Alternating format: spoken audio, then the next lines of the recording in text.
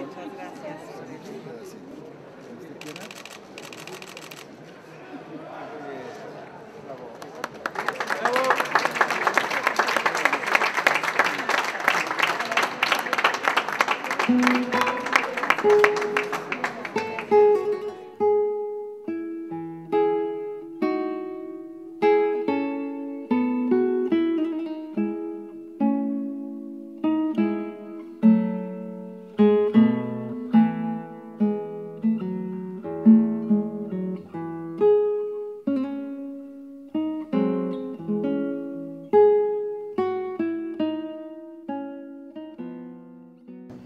La Unidad Coajimalpa de la Universidad Autónoma Metropolitana les da la más cordial bienvenida y agradece su presencia a esta ceremonia de inauguración de la Cátedra Miguel Ángel Granados Chapa.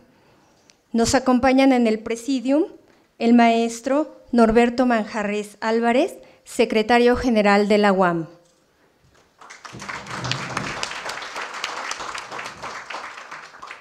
El maestro Tomás Granados Salinas, gerente editorial del Fondo de Cultura Económica e hijo del maestro Miguel Ángel Granados Chapa.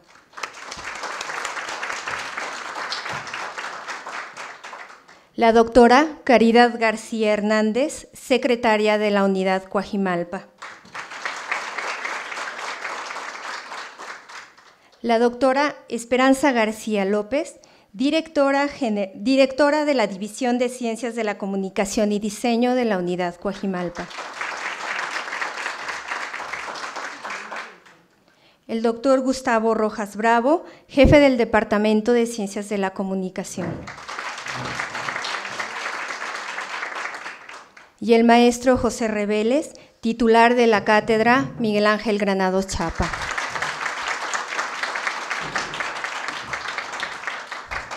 Agradecemos también y damos la bienvenida a la unidad Coajimalpa a la doctora Goldsmith, viuda del maestro Miguel Ángel Granados Chapa.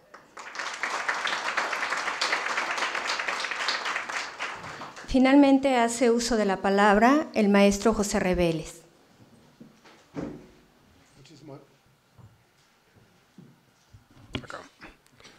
Creo que aquí había un botoncito que apretar.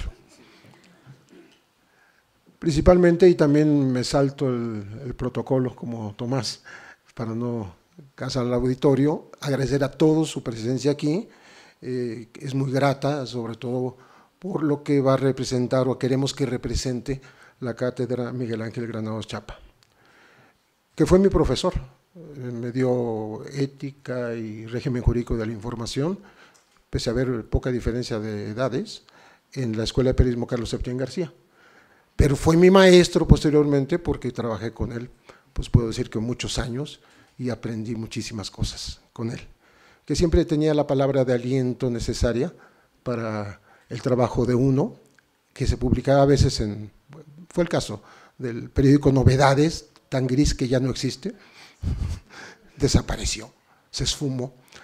Y cuando fui a Excelsior a pedir trabajo, Miguel Ángel lo primero que me dijo, ¿cómo le fue en Colombia? O sea, sí lo leía. Era un milagro leer ese periódico. Bueno, confieso que no me resulta fácil discernir en cuál de los múltiples artículos de Miguel Ángel Granados Chapa se muestra más el talante profesional, la profundidad analítica, sus obligadas referencias al deber ser de los políticos y los empresarios, su capacidad de indignación frente a las injusticias que lograba modular, no obstante, con lenguaje moderado, lejos de los aspavientos de la diatriba, con esa serenidad de quien fue siempre poseedor de las claves más pertinentes para el análisis racional, para la reflexión jamás desbocada, sino circunscrita a marcos legales y al decoro expresivo, para ofrecernos finalmente una incisiva crítica envuelta en palabras certeras y en frases precisas, como dardos. A manera de ejemplo citaré dos casos paradigmáticos. Si en agosto de 1981 exhibió públicamente el regalo de un enorme rancho al presidente José López Portillo por parte del gobernador mexiquense eh, Jorge Jiménez Cantú, era gobernador en el momento, y de empresarios y políticos del Grupo Tlacomulco, sugiriendo que el Ejecutivo Federal no lo aceptaría. Y cito a Miguel Ángel, estamos ciertos de que ofrecido el, oneroso regalo no será aceptado. Escribió en su columna Plaza Pública que para entonces ya existía y publicaría puntualmente durante más de tres décadas. La respuesta obligada y nada cómoda de López Portillo, un gesto digno de un estadista o una decisión a regañadientes, según se vea, fue en efecto arrepentirse de recibir la corrupta donación. En carta a Granados Chapa y al diario 1 más 1 de la época, López Portillo admitió, cito textualmente, como en un espejo, su artículo El rancho de Tenancingo me hizo ver reflejada mi imagen en la opinión del pueblo de mi patria y he resuelto no caer en la tentación. Era el triunfo del periodismo ético frente a las apetencias del poder. Ahí me tocó ir al rancho después de la columna de Miguel Ángel, yo por proceso, a hacer un reportaje, y por supuesto ya doña Carmen Romano de López Portillo hacía los arreglos pertinentes eh, para, digamos, adaptar la, hacienda a sus gustos personales. Pero bueno, eso es aparte. Lo importante es el triunfo de la, la pluma de Miguel Ángel convenciendo a un político que no debe hacer algo mal hecho, algo corrupto. No hubo el mismo final feliz en el caso de otra primicia periodística de Granados Chapa, cuando anunció la práctica fusión de Yusacel y Televisa, con la adquisición mil millonaria de acciones para abonar el avance de Televisa sobre el campo de la telefonía también. Si no puedes vencer a tu enemigo, recomienda un refrán, únetele. Si puedes, cómpralo. Escribía Granados el 23 de enero de 2011, con lo que se ganó alevosas descalificaciones y groseras invectivas de una y otra integrantes del topolio televisivo y de plumíferos a su servicio. Desafortunado artículo que no cuenta con el mínimo rigor periodístico. Es falsa la teoría de conspiración de Granados Chapa, una temeridad solo explicable en reporteros bisoños, etcétera, etcétera, etcétera. Llovían los insultos y los calificativos de la peor ralea. Pero el tiempo, el implacable tiempo, apenas tres meses después le daba la razón. Cuando en abril de 2011, en efecto, se anunció que Televisa adquiría 50% de las acciones de Yusacel, pertenecientes a los dueños de TV Azteca, en más de 1.600 millones de dólares, además de 124 millones adicionales por gastos de capital, para hacer un total de 1.724 millones de dólares, una bicoca. Tres años después, apenas hace ocho días, esto ocurrió la semana pasada, testificamos la recompra que hizo Ricardo Salinas Pliego del mismo paquete, pero pagando solamente 717 millones de dólares. ¿Debemos creer que Televisa perdió 55% de esa inversión multimillonaria de hace tres años? ¿O todo fue un movimiento en libros, bolas de humo en espera de que cambiaran las reglas del juego con el Ejecutivo, el Congreso y la telebancada en línea para encajarnos una nueva legislación que legaliza lo innombrable? ¿Cuánta falta nos hace Miguel Ángel para descorrer los velos de estos milagros de arreglos en lo oscurito? Mientras presenciamos el espectáculo insólito de un Congreso que ya no debate, traicionando su función primigenia, sino solamente finge consentir el uso de la tribuna para que las oposiciones argumenten, para que aporten su cuota de indignación ante oídos sordos, voces que claman en el desierto de la nula respuesta, emitan discursos con aires tronantes de descalificación durante 20 horas o más, toda la noche y todo un día entero para al final ofrecernos el espectáculo de las manos levantadas y así aprobar lo inimaginable en cualquier materia. Da igual si se trata de la reforma energética o de las leyes de telecomunicaciones, todo en abono de la entrega de recursos del país a intereses privados locales y extranjeros. En el primer caso, el periodista, el jurista y el politólogo cuya memoria nos congrega hoy, puso en la mesa de la discusión social, literalmente en la plaza pública, el hecho de que se le hiciera un obsequio ostentoso y ofensivo para la inmensa mayoría pobre del país a un presidente de la República. Quizá hasta empleando dineros del erario, que eso sugirió Miguel Ángel en su columna. para aquellas más de 60 hectáreas con caballerizas, alberca, gimnasio, cancha de tenis, cabaña aparte para pintar, una casa principal, otras secundarias, servicios. El rancho era ideal, cito comillas, como refugio de un hombre sin porvenir en México, un expresidente. Añoraba José López Portillo, eso dijo. En el segundo asunto eh, que abordó Granados, descubrió las tramas de los poderes fácticos para mantener un predominio que continúa hasta hoy. Pasan los años y los presidentes mueren, pero las televisoras permanecen. Respecto al rancho de Tenancingo, Granados Chapa aplaudió con mesura la decisión presidencial de no aceptarlo.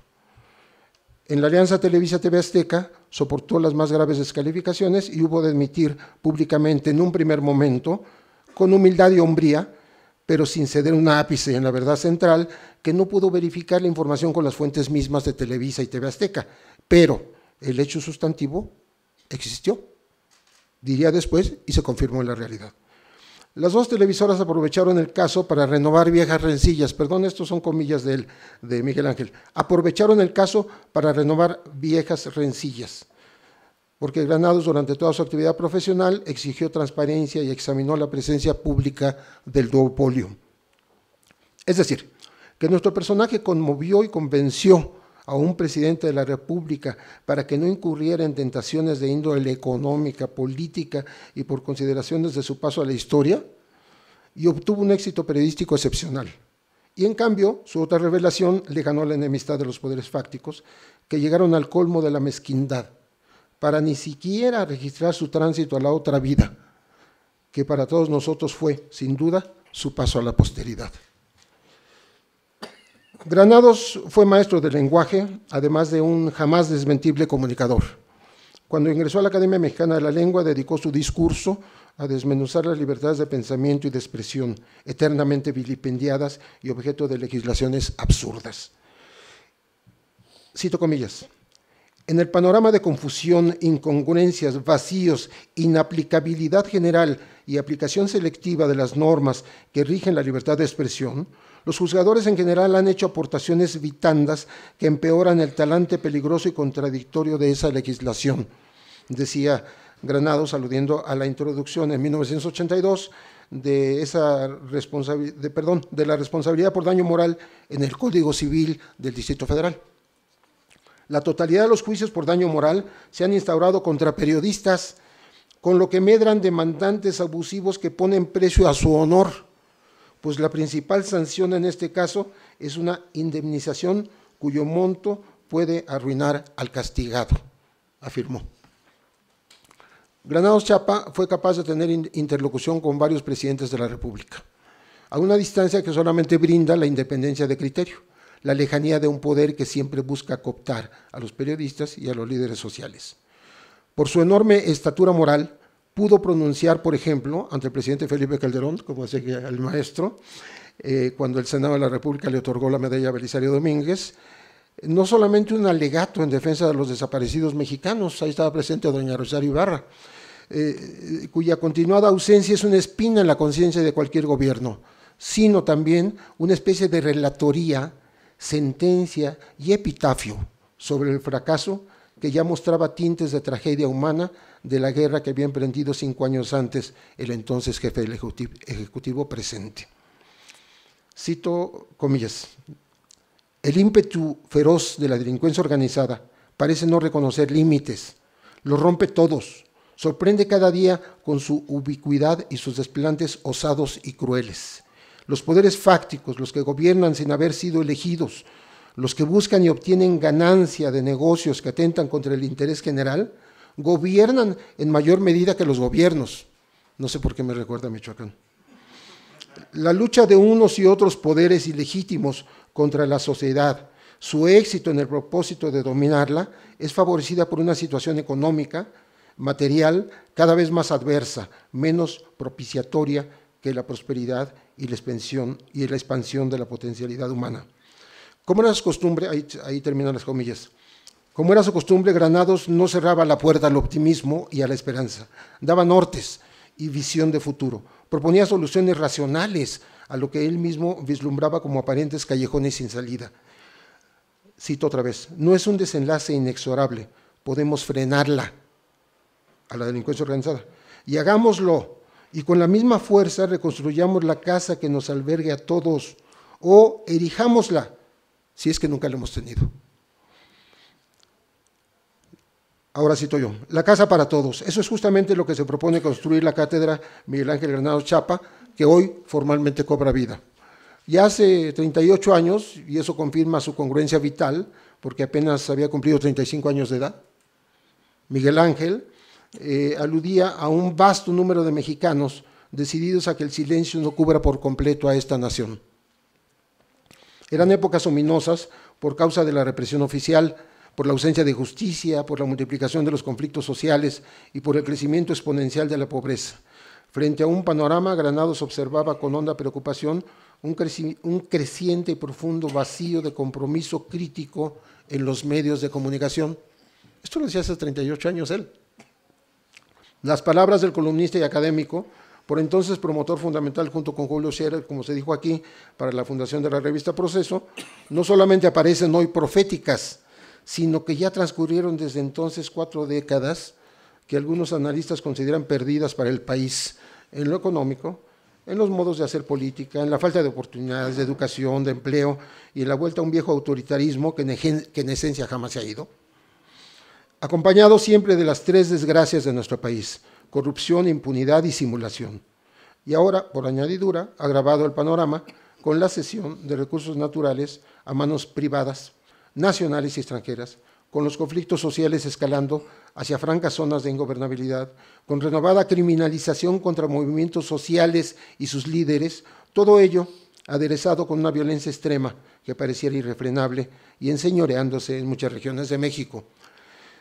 Ausente la seguridad ciudadana, tampoco existen garantías para los periodistas que deben reportar desde las zonas más conflictivas, documentar la violación a los derechos fundamentales de la población, pero también analizar con ojo crítico los fenómenos sociales y políticos y las iniciativas de ley que quieren cambiarle el rostro al país. En ese contexto se torna cada día más difícil el ejercicio periodístico, como lo demuestran los asesinatos. Un centenar en lo que va del siglo, asesinatos de periodistas Amenazas y hostigamiento, unas 250 por medio se reportan cada año. Desaparición de informadores de medios escritos y electrónicos. Hay 13 en esa condición ahora mismo. Desplazados internos y exiliados a otros países.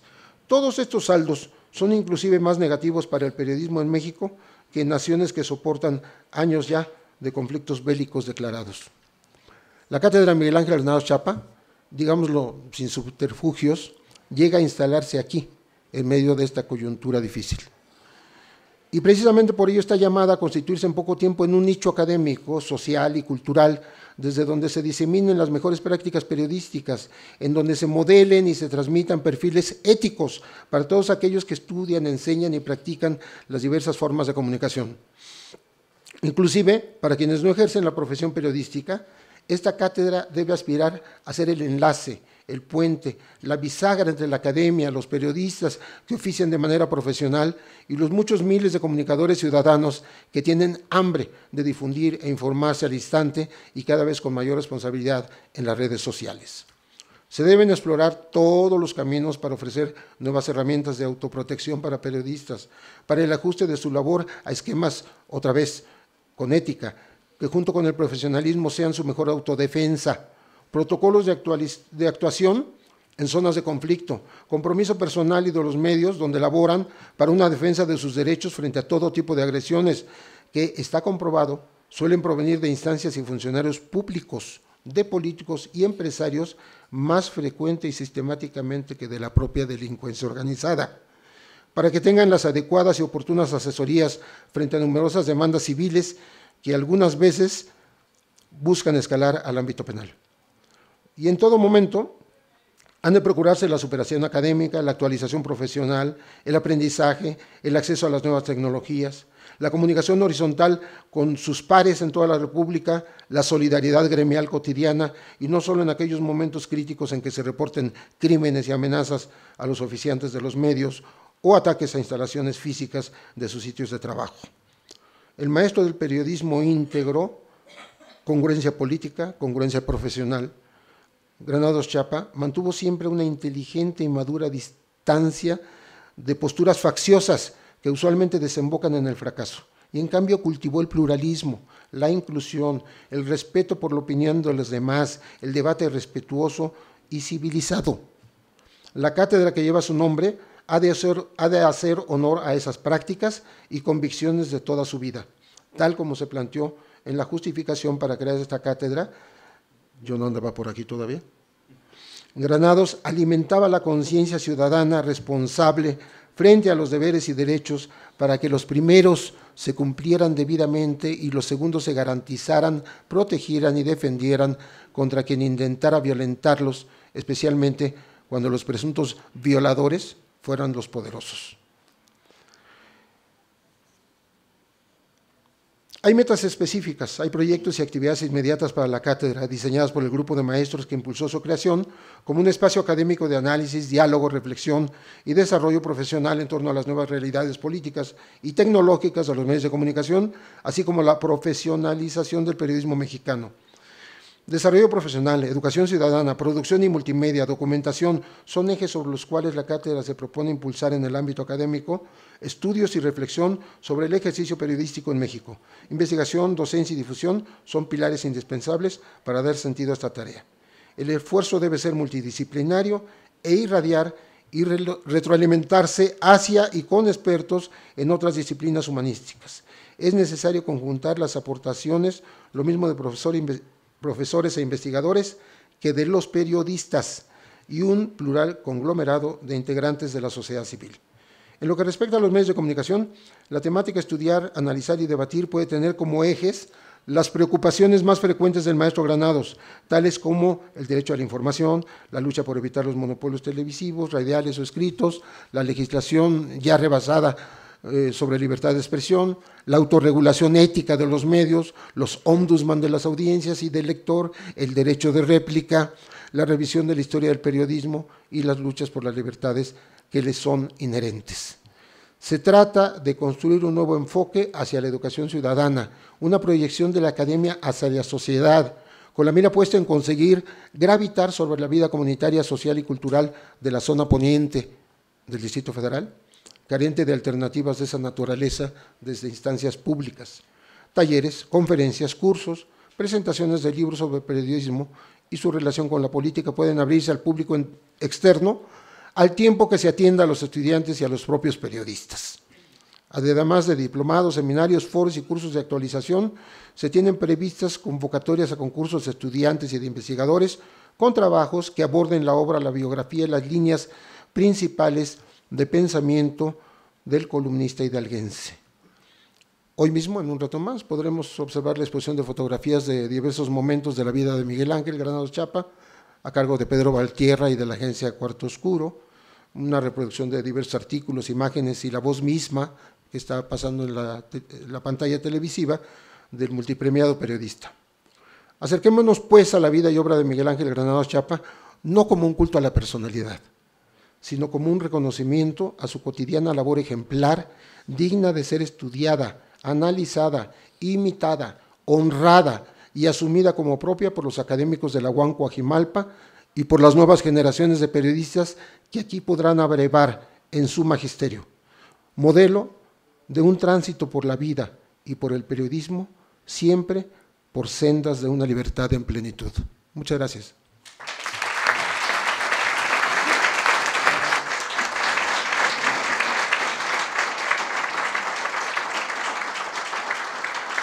Gracias, maestro José Reveles.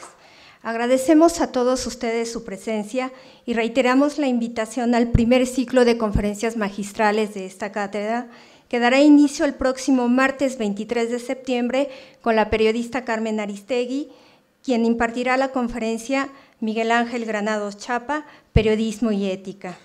El jueves 25 de septiembre le corresponderá al eh, periodista Virgilio Caballero la conferencia Miguel Ángel Granados Chapa, un hombre que sembró un futuro. El martes 30 de septiembre será la conferencia a cargo del periodista Humberto Musacchio, Miguel Ángel Granados Chapa, Política y Cultura. Este ciclo de conferencias concluye el jueves 2 de octubre con la participación del periodista Francisco José Paoli Bolio con el tema Miguel Ángel Granados Chapa, su contribución a la democracia.